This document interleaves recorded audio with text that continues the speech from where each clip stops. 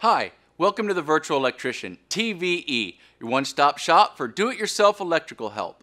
Knob and tube wiring. This was an old wiring method that you can actually still find in some houses today. And if you do find it in your house, there's a good chance that it has been modified or spliced into. Unfortunately, this can make this two-wire system very dangerous. It's very tricky to know which wire is the neutral and which is the live wire in a knob and tube system. They both look the same, and sometimes they aren't ran next to each other. They don't have protective insulation around them like today's wire. They are just single strand wire. You need to use a multimeter to properly identify the hot and the neutral wire. Also, you need to check with your city some cities state that you cannot repair knob and tube wiring if it gets damaged, that you have to completely remove it and then rewire the circuit. Working with knob and tube can also be tricky because a single circuit could start in one corner of the basement, go up into the attic, run over to the other side of the house, down the wall, control a bathroom over there,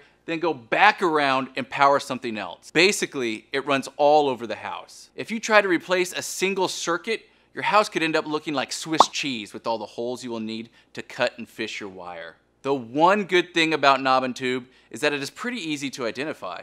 You will notice a wire that literally wraps around and runs through knobs and tubes. If you find knobs and tubes in your basement or attic, test the wires wrapped around them with your presence tester. But test all of them because you may be sticking your presence tester on a neutral wire thinking it's a hot. Not only is it really hard to work on and repair, it's also a two-wire system, meaning it's an ungrounded system. If you detect electricity on one of the wires, then it would be a good idea to replace it. Subscribe for helpful videos just like this one and head over to thevirtualelectrician.com if you'd like advice and help from our team of master electricians.